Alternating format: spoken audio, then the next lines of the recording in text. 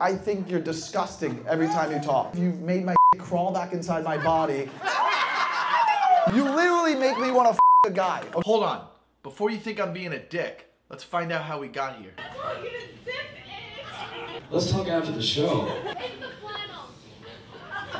Someone get her out, actually. That's my buddy Aaron. He's the second comic on the show that's had to deal with her heckling. Now I'm getting pissed. People would like say, so already we're starting and you're gonna have to shut the f up. You up every single one of my friends' jokes and that pisses me off. So now I'm gonna f you up. So that's how I work, okay? Are you gonna finish your food? No, for sure. I think you should start eating it now so that you shut the f up, huh? I think we all would want you to eat those cheese fries, right? And then have a heart attack and die. That would be f***ing great.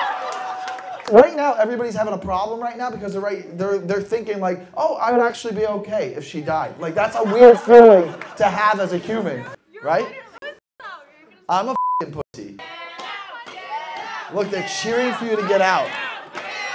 And I, I think you're being sweet, but if she talks again, you guys are going, okay? Both of us? Yeah. Oh, you could. Well, oh, actually, that's funnier. You can stay, and then we'll have her go. So that's your last warning.